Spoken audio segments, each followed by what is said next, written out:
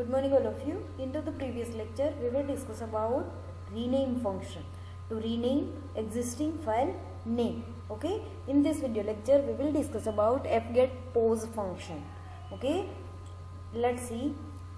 Get the current file pointer position. આ જે function છે એમનો યુઝ શેના માટે થશે તો ફાઇલ પોઇન્ટરની કરંટ પોઝિશન ગેટ કરવા માટે આ જે ફંક્શન છે, એમનો યુઝ થાય છે. સિન્ટેક્સ આપેલી છે integer F get pos into bracket file pointer and F O P S in underscore T means position okay જોઈએ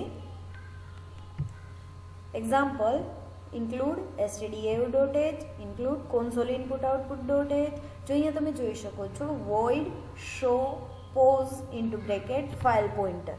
અહીંયા એક ટાઈપનું યુડીએફ યુઝ કરેલું છે. User defined function show pos નામનું એક યુઝર ડિફાઇન્ડ ફંક્શન છે, જેની ડેટા ટાઈપ છે વોઇડ રિટર્ન ટાઈપ વોઇડ છે.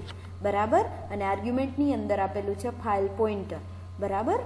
Void main, into bracket, character ch and F pos underscore T જેવી રીતે આપણે ફાઇલ લખીએ છીએ. ઇનબિલ્ટ એ જે ડેટા ટાઈપ છે, એ ઇનબિલ્ટ ડેટા ટાઈપ છે. સેમ એ રીતે એફ પોઝ અંડરસ્કોર ટી છે, એ ઇનબિલ્ટ ડેટા ટાઈપ છે. જે એસટીડીએઓ ડોટ એચ હેડર ફાઇલની અંદર આવેલી છે.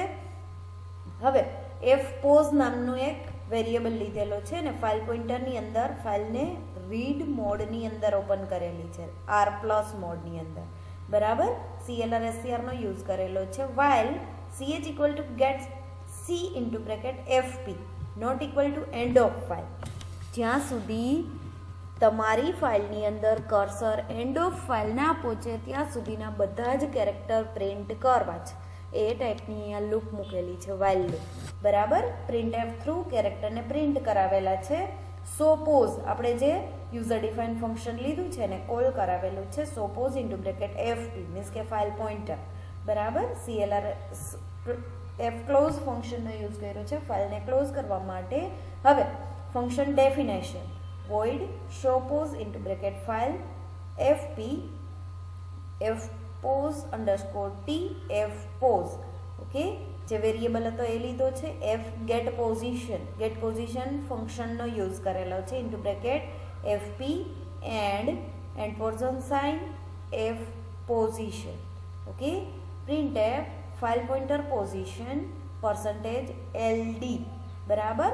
મીન્સ કે લોંગ ડબલ કે લોંગ ઇન્ટીજર એવું આપણે કહી શકીએ.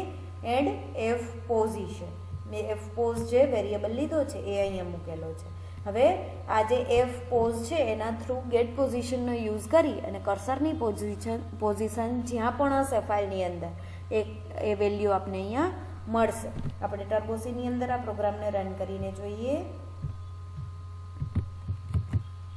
જો તમે અહીંયા જોઈ શકો છો, એક યુઝર ડિફાઇન ફંક્શન છે. આ ફંક્શન ડિક્લેર કરેલું છે સો પોઝ નામનું ફંક્શન છે.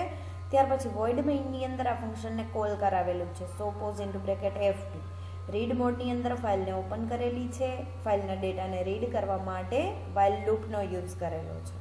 બરાબર?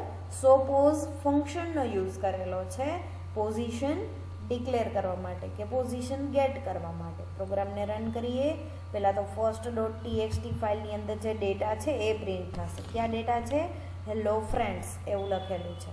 અને કર્સરની પોઝિશન ફ્રેન્ડ્સ પછી પછી આવેલી હશે, એટલે અહીંયા થર્ટીન ડિસ્પ્લે થાય છે.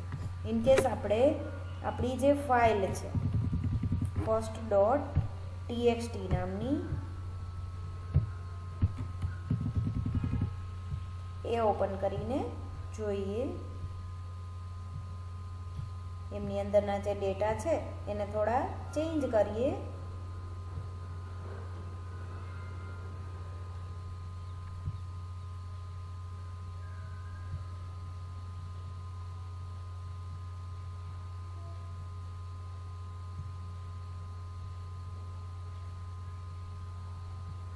આ છે આપણી ફર્સ્ટ ડોટ ટીએક્સટી ફાઇલ શું લખેલું છે? હેલો ફ્રેન્ડ્સ બરાબર? ઇન કેસ હું અહીંયા જસ્ટ હેલો રહેવા દઉં છું, ફાઇલને સેવ કરું છું અને પ્રોગ્રામને, ફાઇલને બંધ કરી દઉં છું. હવે આપણે આપણો ટર્બોસીનો પ્રોગ્રામ ઓપન કરીએ.